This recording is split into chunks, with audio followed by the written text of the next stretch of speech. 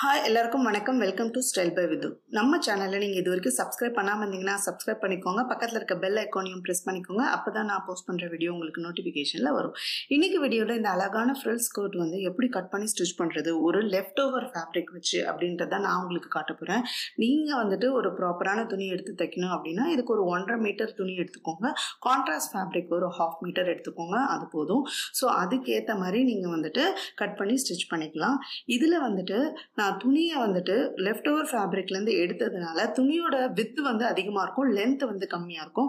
So நீங்கள் துணி எடுத்து கட் பண்ணும் போது எப்படி இருக்கும்? புது துணி எடுத்து கட் பண்ணும் போதுனா லென்த் அதிகமாக இருக்கும். ஸோ உங்களுக்கு எவ்வளோ லென்த் வேணுமோ அது வரைக்கும் மார்க் பண்ணி கட் பண்ணிவிட்டு வித்துக்காக நீங்கள் துணியை வந்து அட்டாச் பண்ணிக்கோங்க.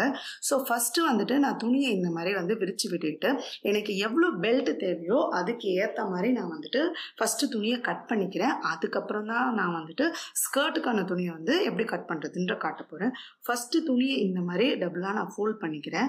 பண்ணிவிட்டு நான் வந்துட்டு கட் பண்ணி எடுத்துக்கிறேன். ஸோ என்னோட பெல்ட்டை வந்துட்டு இந்த மாதிரி செப்பரேட் பண்ணி எடுத்துக்கிறேன். ஸோ ரெண்டு சைடும் வந்து நான் அட்டாச் பண்ணிக்க போகிறேன்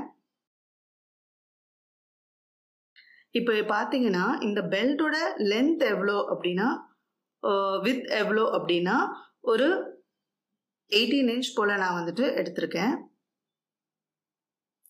லென்த் பார்த்தீங்க அப்படின்னா ஒரு த்ரீ பாயிண்ட் ஃபைவ் இன்ச்சுக்கு வந்து நான் வந்து எடுத்திருக்கேன். ஸோ ஜஸ்ட் இந்த துணியை வந்து இந்த மாதிரி டபுளாக நான் ஃபோல்ட் பண்ணிக்கிறேன். ஃபோல்ட் பண்ணிவிட்டு இது வந்து ஃபோல்டட் சைடு இது வந்து ஓப்பன் சைடு இந்த ஓப்பன் சைட்லேருந்து நம்ம என்ன பண்ண போகிறோம் இதோட லென்த் எவ்வளோ அப்படின்னு பார்த்தீங்கன்னா நான் ஒரு எயிட்டீன் இன்ச் எடுத்திருக்கேன். உங்களுக்கு அதிகமான லென்த் வேணும்னாலும் நீங்கள் அதுக்கேற்ற மாதிரி எடுத்துக்கலாம். ஸோ இங்கே பார்த்தீங்கன்னா இந்த ஓப்பன் சைட்லேருந்து ஜஸ்ட் ஒரு சின்ன கேர்வ் மாதிரி இந்த மாதிரி ட்ரா பண்ணி நான் விட்டுறேன். ஸோ அதை நம்ம வந்து கட் பண்ணி எடுத்துக்கலாம்.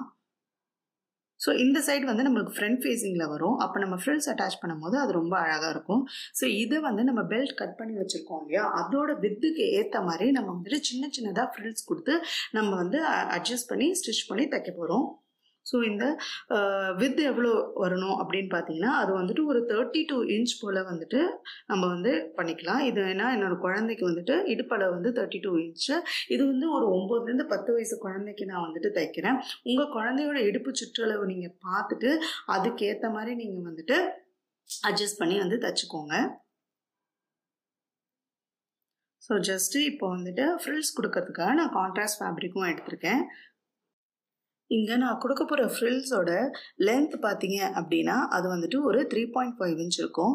வித்து எவ்வளோ எடுக்கணும் அப்படின்னா உங்கள் ஸ்கர்ட்டை வந்துட்டு நீங்கள் எவ்வளோ வித்துக்கு எடுத்துருக்கீங்களோ அதை விட வந்துட்டு ஒரு டூ டு த்ரீ டைம்ஸ் வந்து அதிகமாக எடுத்துக்கணும். ஸோ இந்த மாதிரி வந்துட்டு நான் முதல்ல லென்த் மார்க் பண்ணி கட் பண்ணிக்கிறேன். அதே மாதிரி ரிமைனிங் இருக்க துணிலையும் நான் வந்துட்டு கட் பண்ணிப்பேன். ஸோ ஜஸ்ட் வந்துட்டு நான் மார்க் பண்ணதை மட்டும் முதல்ல இப்போ உங்களுக்கு கட் பண்ணி காட்டுறேன்.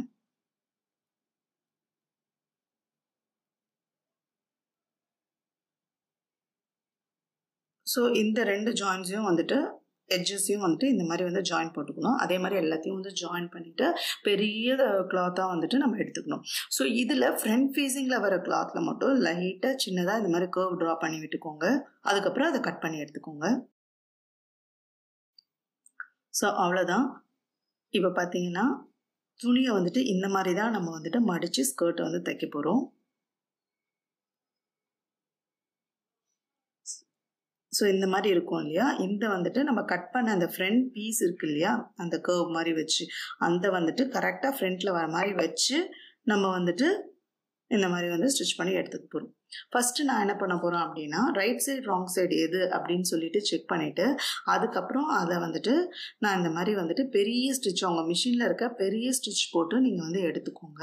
எடுத்துகிட்டு நம்ம என்ன பண்ண போகிறோம்னா ஒரே ஒரு நூலை மட்டும் இப்படி வச்சு அதை வந்து நம்ம புல் பண்ணி புல் பண்ணி ஃபேப்ரிக் வந்து நம்ம வந்துட்டு கேதர் பண்ணி எடுத்துக்க போகிறோம் ஸோ இந்த மாதிரி நான் வந்து கேதர் பண்ணி எடுத்ததுக்கப்புறம் என்னோட ஸ்கர்ட்டோட அகலம் வந்துட்டு ஒரு தேர்ட்டி டூ இன்ச் இருக்கான்னு நான் செக் பண்ணிக்கிறேன். ஸோ தேர்ட்டி டூ இன்ச் வந்ததுக்கப்புறம் அது மேலே நான் வந்துட்டு ஒரு டாப் ஸ்டிச் போட்டு ஸ்டிச் போட்டு ஃபினிஷ் பண்ணிக்கிறேன்.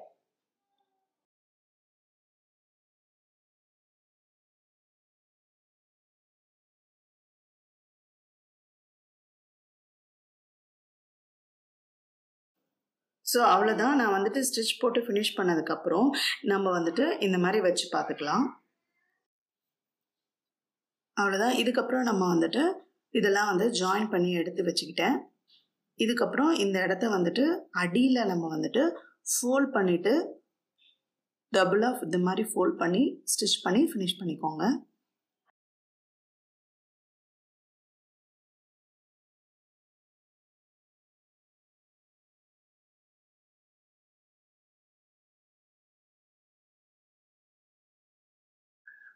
ஸோ ஒன்ஸ் இந்த மாதிரி ஸ்டிச் பண்ணி ஃபினிஷ் பண்ணதுக்கப்புறம் நான் வந்துட்டு துணியோட ஃப்ரண்ட் சைட்லேருந்தே ஆரம்பித்து நான் வந்துட்டு இந்த மாதிரி சின்ன சின்னதாக வந்து ஃப்ரில்ஸ் கொடுத்து ஃபினிஷ் பண்ணிக்க போகிறேன் ஒரு எண்ட்லேருந்து ஆரம்பித்து இன்னொரு எண்டு முடிகிற வரைக்கும் நம்ம வந்து ஃப்ரில்ஸ் கொடுத்து முடிச்சுக்கலாம்.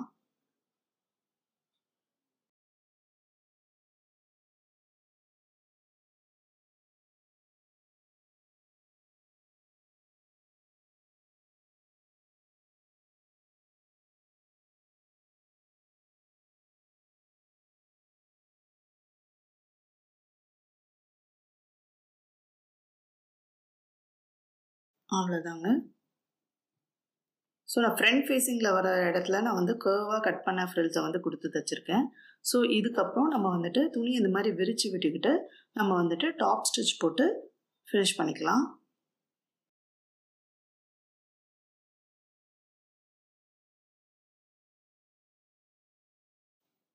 அவ்வளோதான் ஸோ ஜஸ்ட் வந்துட்டு நம்ம கேர்வாக வந்து கட் பண்ணோம் இல்லையா ஃப்ரில்ஸு அந்த இதை வந்து மேலே வர மாதிரியும் இன்னொரு சைடு வந்து உள்ளே வர மாதிரியும் இந்த மாதிரி அரேஞ்ச் பண்ணி வச்சுட்டு நம்மளோட பெல்ட்டுக்கு ஏற்ற மாதிரி வந்துட்டு இந்த ஸ்கர்ட்டோட வித்தை வந்து அட்ஜஸ்ட் பண்ணி ஃபோல்ட் பண்ணி வச்சுட்டு நம்ம இந்த இடத்துல வந்துட்டு இந்த ஸ்டிச் போட்டு ஃபினிஷ் பண்ணிக்க போகிறோம் ஜஸ்ட் வந்துட்டு முதல்ல இந்த ரெண்டுத்தையும் இந்த மாதிரி அட்டாச் பண்ணிக்கோங்க. அதுக்கப்புறம் இந்த இடத்துல வந்துட்டு இந்த மாதிரி வந்து ஸ்டிச் போட்டு ஃபினிஷ் பண்ணிக்கோங்க.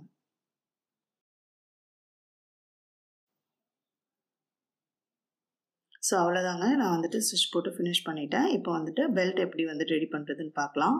ஃபஸ்ட்டு வந்துட்டு நான் ரெண்டாக கட் பண்ணேன் இல்லையா? அதை ரெண்டுத்தையும் அந்த மாதிரி வந்துட்டு ஸ்டிச் போட்டு ஃபினிஷ் பண்ணிக்கோங்க. ஸோ இதுக்கப்புறம் நம்ம பெல்ட்டை வந்துட்டு இந்த மாதிரி இது மேலே வச்சுட்டு நம்ம வந்து ஸ்டிச் போட்டு ஃபினிஷ் பண்ணிக்கலாம்.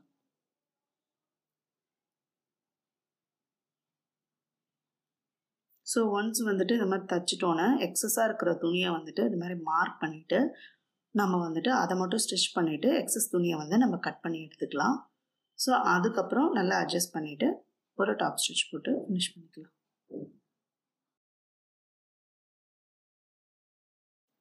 அவ்வளோதான் இதுக்கப்புறம் இதை வந்துட்டு ஒரு சிங்கிளாக ஃபோல்ட் பண்ணி ஸ்டிச் போட்டுக்கோங்க பெல்ட்டை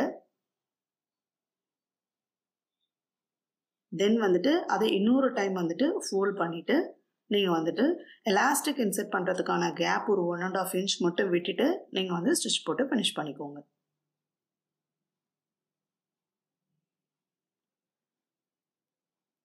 ஸோ அவ்வளோதான் நான் வந்துட்டு நான் பெல்ட் வந்துட்டு ஸ்கர்ட்டோட அட்டாச் பண்ணிட்டேன். இப்போ வந்துட்டு எலாஸ்டிக் எப்படி இன்சர்ட் பண்ணுறதுன்னு பார்க்கலாம்.